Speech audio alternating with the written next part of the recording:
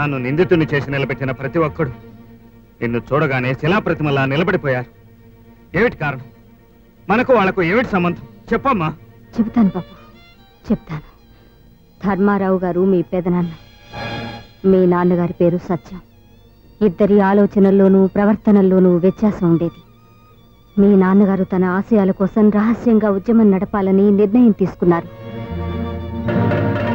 అన్నార్తుల ఆక్రందనలను అరణ్యరోదనలుగా మిగిల్చివేస్తున్న ఈ దుర్వ్యవస్థను రూపుమాపటం కోసం నీ నా తన మన స్వార్థ లాభ రూపితమై కలుషితమైన ఈ సమాజంలో చైతన్యం కోసం ఎక్కడ పీడిత ప్రజల ఆక్రోశాలు వినిపించవో ఎక్కడ సాటి మనిషిని తోటి మనిషి దోచుకోడో ఎక్కడ దుర్మార్గపు కోటలు మానవత్వపు గుండె అంచులను తాకవో అక్కడ నూతన సమాజ నిర్మాణం సాగిస్తామని త్రికరణ శుద్ధిగా ప్రమాణం చేస్తున్నా. సత్యం. మన ఆశయాలు నెరవేరడానికి దీక్ష పట్టుదల చాలు. ఆర్థిక బలం కూడా ఉండాలి. తుపాకులు తూటాలు సమకూర్చుకోవాలి. అందుకు మనం ఏం చేయాలి? దోపిడీలు చేయాలి. మనం ఇక్కడ ఏకమైంది దోచుకోవటానికి కాదు. దోపిడీని అంతం చేయటానికి. మన ఆశయ సాధనకు తిరుగుబాటు చాలు. సత్యం. నువ్వు పుట్టుకతోనే లక్షాధికారి. అందుకే ధనవంతుల్ని దోపిడీ చేయడానికి వెనకాడుతున్నావు. ఫణిభూషణ్ రావు నాయకత్వం మీద నమ్మకం లేకపోతే ఈ ఉద్యమాన్ని నడపటం నిరర్థకం. పోనీ దోపిడీ చేయకుండా పరిష్కార మార్గం ఏదైనా ఉంటే మీరే చెప్పండి. మీ ఉద్దేశంలో ఉద్యమానికి ఊపిరిపోసేది డబ్బే అయితే ఈ రోజే నా ఆస్తిని తగిన మిథనం తీసుకొస్తాను. అదే మన ఉద్యమానికి ఉపయోగపడుతుంది. సత్యం ఏమిట్రా నువ్వు చేస్తున్న పని? ఎనపెట్లో మూలుగుతున్న నల్లధనానికి వెలుగు చూపిస్తున్నాను. వెలుగులోకి వెళ్ళి అవి ఏం చేస్తాయట? బక్క చిక్కిన వాళ్ళ ఆకలి బాధలు తీరుస్తాయి. ఉడుకునెత్తుల్లో ఉన్న ప్రతివాడికి పేదవాడి ఆకలి తీరుస్తాను అనడం ఫ్యాషన్ అయిపోయిందిరా. డబ్బు అధికారంతో ఏలుబడి చేస్తున్న ధనిక వర్గాన్ని కూలగొడితే కూలివాడు కామందు అనే తేడా లేని సమాజం ఏర్పడుతుంది. పోనీ నువ్వు కోరుకునే ఆ నవ సమాజం వచ్చినప్పుడు ఈ దేశాన్ని ఎవరు పరిపాలిస్తారు? కర్షకుల? కార్మికుల? శ్రామికుల? కర్షకుడు చెమటోడ్చి కార్మికుడు రక్తం చెందించి శ్రామికుడు నడుం బిగించి ఎవరి వంతు కర్తవ్యాన్ని వాళ్ళు పూర్తి చేస్తారు రాజు లేని రాజ్యాన్ని సృష్టించుకుంటారు. ఇది వట్టి పిడివాదం రా భార్యాభర్తల్లోనే ఎవరి మాట ఎవరు వినాలనే వాదంలో కొన్ని కుటుంబాలే కూలిపోతున్నాయి. ఎవరి సిద్ధాంతాలు ఎవరు ఆచరించాలనే వివాదంలో నువ్వు అనుకునే ప్రజారాజ్యం నిలబడదు. ఈ కర్మభూమిని మార్చడం అంత తేలిక కాదు. నీతో వాదం నాకు అనవసరం. న్యాయబద్ధంగా నాకు రావాల్సిన డబ్బు ఇది. అందుకే తీసుకుపెడుతున్నాను ఈ ఆస్తి అంతా నా స్వార్జితం నువ్వు దేశాన్ని ఉద్ధరించడానికి వీలు వెంటబడి తిరిగితే నే కుటుంబాన్ని బాగు చేయడానికి వ్యాపారం చేశాను. కలిసి వచ్చింది ఈ మాటలు నన్ను మార్చడానికి అంటున్నావా మనస్ఫూర్తిగా అంటున్నావా? ఉన్న నిజం చెప్తున్నాను. దోపిడీదారుడి మనస్తత్వం నిన్ను ఆక్రమించుకుందన్నమాట. ఆవేశపడకురా. నీకంటే ముందే నీకన్నా గొప్ప సంస్కర్తలు త్యాగమూర్తులు ఈ దేశంలో పుట్టారు. దేశం కోసం వాళ్ళు సర్వస్వాన్ని నాశనం చేసుకున్నారు. ఆనాడు ప్రజలు వాళ్ళకు జేజేలు కొట్టారు. నిజమే. కానీ వాళ్ళ ఆ త్యాగమూర్తుల వారసులు వీధుల్లో అడుక్కు తింటుంటే ఆ ప్రజలు ఏం చేస్తున్నారు? నా మాటవే. మనసు మార్చుకో. అనుబంధాలను తెంచేది మానవత్వాన్ని చంపేది ఈ డబ్బే. ఈ సొత్తు ఉమ్మడి సొత్తుగా మారే వరకు కుట్రలు దోపిడీలు జరుగుతూనే ఉంటాయి. దాన్ని రక్త సంబంధాలు కూడా ఆపలేవని ఈ రోజు నువ్వు నిరూపించావు. శారదా రాపోదాం రా శారదా. బాబు సత్యం మీ అన్నయ్య మనసును అర్థం చేసుకో. నా మాట విని ఇక్కడే ఉండిపో. ఆప్యాయతలకు అనుబంధాలకు చాలా దూరంగా వెళ్ళిపోయినదిన వెలుగులో నుంచి మళ్ళీ చీకట్లోకి రాలేను. బాబు శారదా నువ్వైనా నా మాట విను. ఆయన మీద ఆయన సిద్ధాంతాల మీద నాకు నమ్మకం ఉంది అక్కయ్య నన్ను క్షమించు. ఏమండి.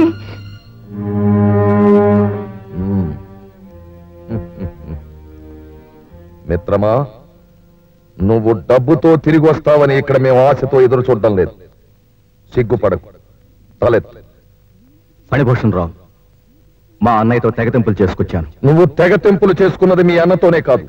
మనకి శత్రువైన ఒక పెట్టుబడిదారుడితో. Hats off to you comrade Satyam comrade Satyam Satyam నువ్వు ఈ పనిచేసి వయసులో చిన్నవాడివైనా మాకు ఆదర్శవంతుడు అయ్యావు.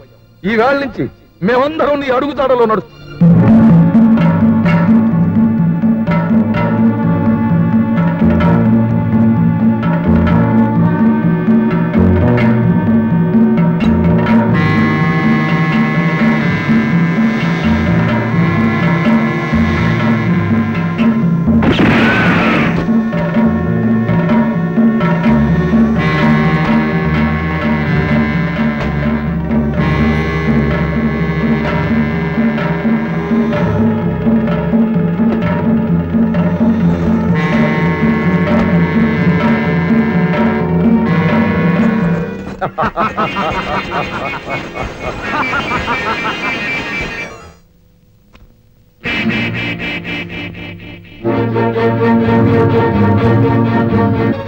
పోలీసు పోలీసు వస్తుండ్రు కొండ దగ్గర వచ్చేసింది. పని మీరు వెంటనే మన స్థావరాన్ని ఇక్కడి నుంచి మార్చేయండి. నేను వెళ్ళి పోలీసులు ఎదుర్కొంటాను. రండి. పదండి.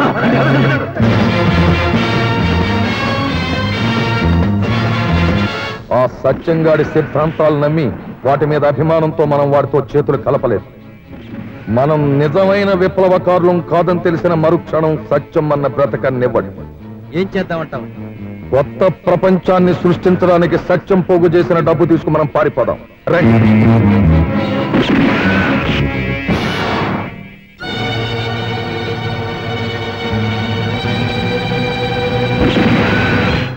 మీలాంటి నీచులుండబట్టిరా? ఈ దేశంలో ఎప్పటికప్పుడు రగులుతున్న ఉద్యమాలు చల్లారిపోతున్నాయి. మళ్ళీ ఆ దుస్థితి రాకుండా మిమ్మల్ని ఇక్కడే నరికి పోగులు పెడతాను. శారదమ్మ ఆడదానివి అనవసరంగా మా చేతుల్లోని ప్రాణాలు పోగొట్టుకోకు. అడ్డు తప్పుకో. ప్రాణాల మీద తీపితో ఇల్లు వదిలిపెట్టి ఈ అడవిలోకి రాలేదురా నేను. మర్యాదగా డబ్బా అక్కడ పెట్టి వెళ్ళండి. లొంగిపండి.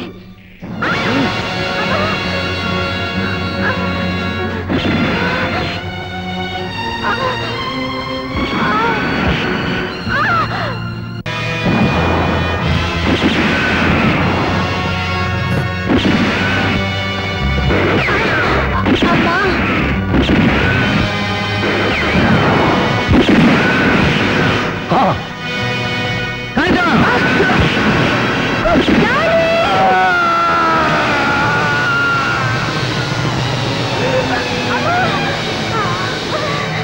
వదిలింది. పదండి పోదాం.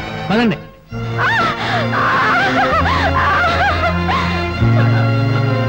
శారదా!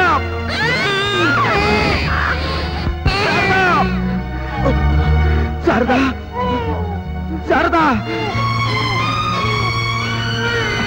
శారదా! శారదా! శారదా!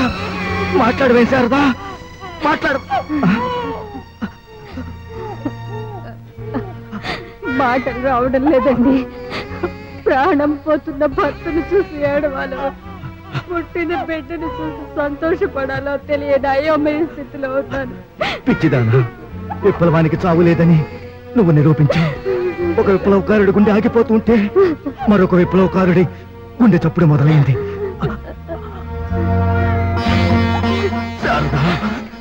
ఈ రోజు తాత్కాలికంగా నేను ఓడిపోయినా నా సిద్ధాంతం మాత్రం ఓడిపోదు సముద్రాన్ని ఎడారి చెయ్యటం విప్లవాన్ని సమాధి చెయ్యటం ఎవరికీ సాధ్యం కాదు.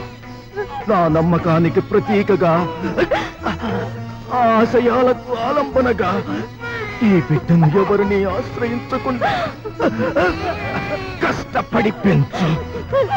నేను లేని లోటు తీర్చేలా తయారు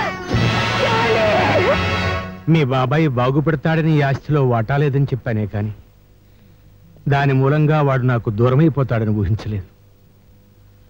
ఆ తరువాత వాడు పోలీసు కాల్పుల్లో చనిపోయినట్టుగా పేపర్లో చదివాను.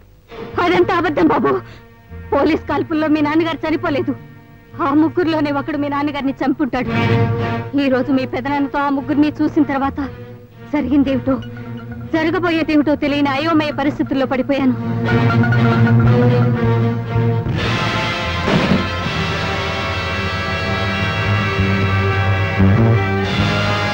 రాయ్ గాడిద కొడుకులారా విప్లవకారులు అని చెప్పి నా తండ్రితో చేతులు కలిపి వెన్నుపోటు పొడిచారు.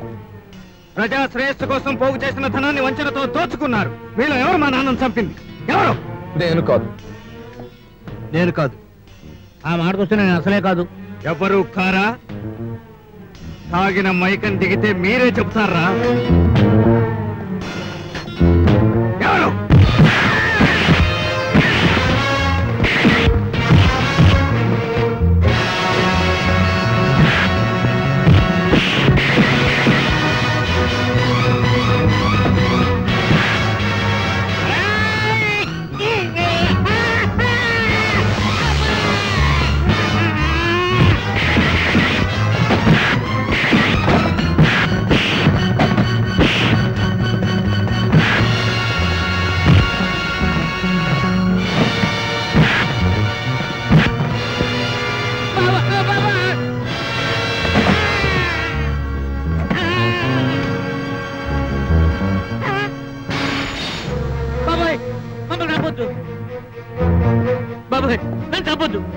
పోలీసు అబద్ధం.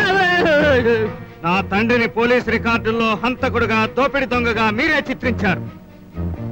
అది నిజం కాదని నేను రుజువు చేసే వరకే మీ కంఠాల్లో ఊపిరుంటుంది. ఆ తర్వాత మొదలవుతుంది మహాయజ్ఞం మారణ హోమం.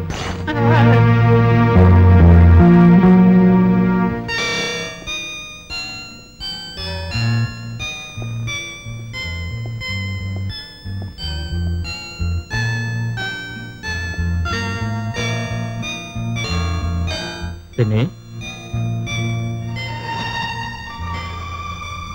నేను ధర్మారావు గారి అబ్బాయిని చక్రవర్తి అంతస్తుకు తగ్గ పేరు. నిన్ను తిలకని ఇంటికి తీసుకెళ్దామని వచ్చాను పిన్ని మా ఇల్లు ఇదే బాబు. నిజానికి మీ వివరాలు ఏమీ మా నాన్నగారికి తెలియదు పిన్ని తెలిసిన దగ్గర నుంచి ఆయన ఎంతో బాధపడుతున్నారు. కష్టంలో సుఖాన్ని వెతుక్కుంటూ వెళ్ళిన మనుషులం. మాకెందుకు బాబు కొత్తగా ఈ అనుబంధాలు? మేము రాలేం. మిమ్మల్ని తీసుకొస్తాను మా నాన్నగారి మాట ఇచ్చాను పిన్ని. బ్రతికుండగా మీ గుమ్మం తొక్కనని నా భర్తకు నేను మాటిచ్చాను. రక్త సంబంధాలు నువ్వు ఇచ్చే విలువిదేనా? రక్త సంబంధాలకు విలువివ్వటం మర్చిపోయి ఒక తరం దాటిపోయింది. మీ ఆస్తిని మీరే అనుభవించండి. మీకు జరిగిన అన్యాయానికి ఎంతకన్నా మంచి తీర్పే ఉంటుంది చెప్పు. ఆ మాట ఇంటికి వెళ్తారా ఎక్కడైనా మనం అంతా కలిసి ఉందాం. నా కొడుకు తన ఫ్యాక్టరీలోనే ఉద్యోగిగా చేరాడని తెలిసిన రోజున గర్వించానే కానీ బాధపడలేదు. మళ్ళీ ఐశ్వర్యం అనే ముసుగులోకి మమ్మల్ని లాగద్దు. మమ్మల్ని ఇలా ఉండని పాపు. పిన్ని మనుషులతో పాటు మమతలకు కూడా నువ్వు దూరం అయిపోయావు. ఆకలితోనూ ఆర్తిలోనూ ఉన్న బిడ్డని ఏ తల్లి నిరాదరించి పంపదన్న నమ్మకంతోనే నేను నీ దగ్గరికి వచ్చాను. కానీ నువ్వు నన్ను నిరాస్తి పంపుతున్నావు. పిన్ని మమకారం నీ మనసుంతటి నేను మేల్కొల్పిన రోజున. నీకు రెండో కొడుకున్నా అన్న సంగతి మాత్రం మర్చిపోవద్దు.